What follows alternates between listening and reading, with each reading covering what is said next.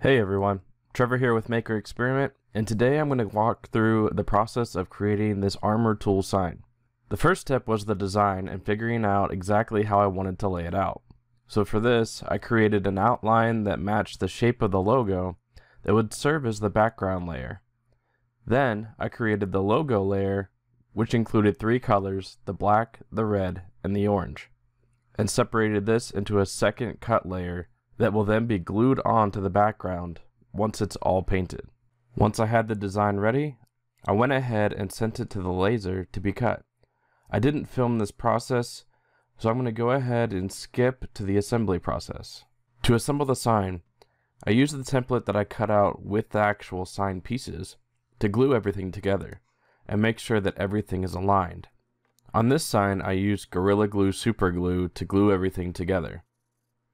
The key to this method is making sure that I don't put too much glue on so it seeps out, as well as I don't try to do too many pieces at a time.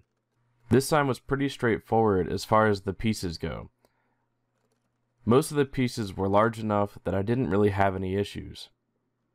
The main thing was to make sure that I take my time and don't try to rush anything because that's where I can run into problems with potentially gluing the template down to the sign, and I don't want to do that.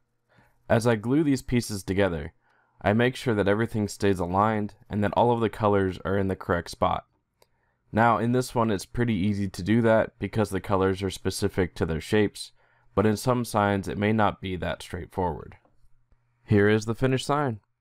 So this one took about 10 to 15 minutes to assemble and went pretty smoothly overall.